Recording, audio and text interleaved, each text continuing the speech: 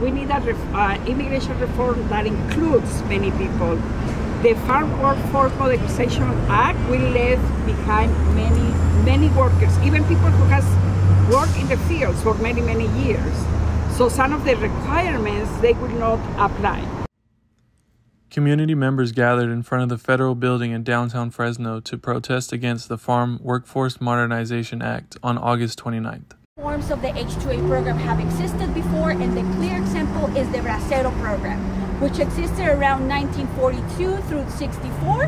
And the name Bracero, meaning arms, comes from indigenous communities who pretty much lend their arms to work the land here in the United States with the hope to also create an economic and sustainable impact back in their communities, supporting their families. And that is known as historical debt that hasn't been paid to migrants, neither to migrants in Mexico. So these braceros now are elders who are also dying in the community. So we need to observe these forms of slavery because that's what it is. Protesters called for Senator Alex Padilla to vote no on the act, a bipartisan bill which was led by Representatives Zoe Lofgren and Dan Newhouse. So maybe you in the media know that Senator uh, Padilla went to the fields. He was acting as a farm worker. Uh, uh, he posted in, in his social media. So we want to know what did he learn from being in the fields.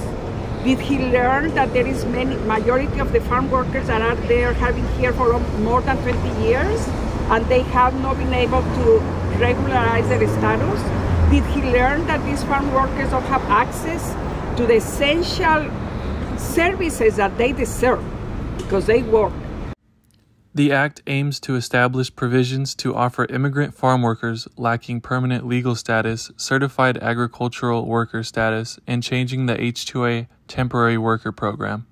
I really like to think about the intergenerational impacts. So, as of right now, when we look at this timeline, right now, the language of the bill it excludes black indigenous communities as it right now. Why? Because the exclusions of this bill say that if at any point you interacted with law enforcement in a negative way of course and have a record uh, then you won't become a legal resident. You won't become a u.s citizen and when we observe this issue then we know that black and indigenous communities are going to be heavily impacted by the exclusion of this bill.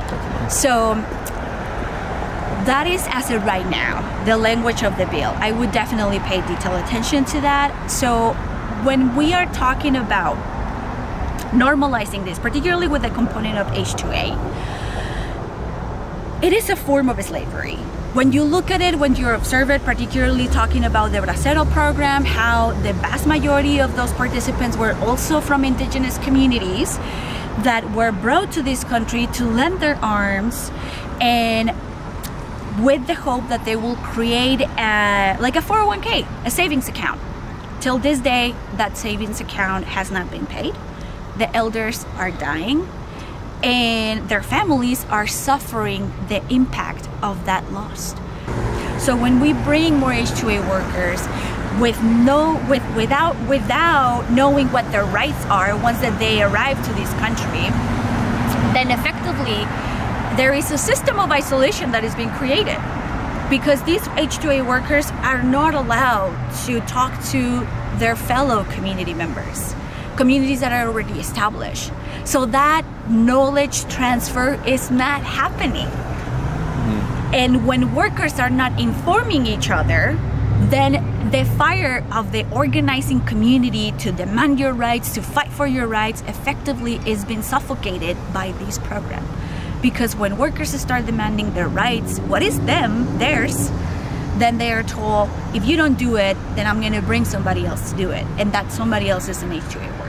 Okay, Fresno State has a very, very special place in my heart. I love, I love the, um, the social, the social studies building and also my peer, colleague, mentor, big heart, Deborah Saxton. Um, please, you know what to do. You are the organizers of the world.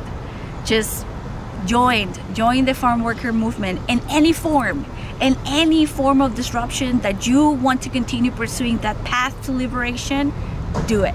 We want to urge Senator Padilla to oppose this act and more than anything, to listen to us. We have met with his staff many, many times and we haven't been able to meet with him. So that's where we want to call on him to meet and listen to our voices. We represent people, farm workers, and we have been working with them many times. And like Oralia says, we have here what are the needs.